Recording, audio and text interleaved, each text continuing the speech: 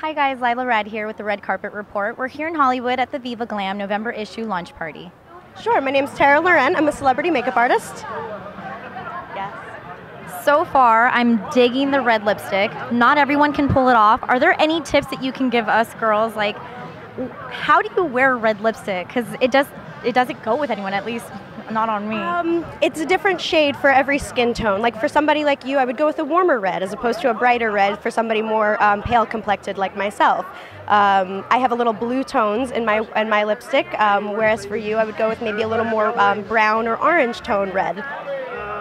Does the hair color make a difference? It absolutely does. It absolutely does. And I would also compliment it to the rest of your outfit too. There's a variety of reds on the market, and I think every girl can find one that works best for her. Who was the last biggest celebrity that you can say that you did your makeup or, you know, you did their makeup? Oh, you stumped me. Oh gosh. Um, there's so many. How about no? That's okay. How about this? Anyone that you really enjoy doing your makeup on? You know, some people just are easier to do their makeup on. Like yeah. their eyes are just perfectly Absolutely. shaped, and it's easier. Oh, Anyone that you can gals is Ari Graynor.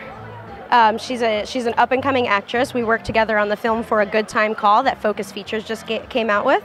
Um, she's beautiful, beautiful skin, beautiful eyes, beautiful personality. I absolutely love her.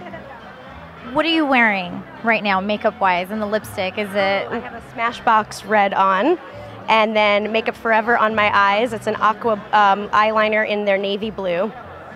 Do you find it really easy to do makeup on yourself as it is on other people, or is it is one easier than the other? Well, I enjoy doing it on other people because I like to change their look and change their face. I work my, with my face every day, so. Um, but I do enjoy doing my own, and it's fun to get to play up my own sometimes. Thank you so much.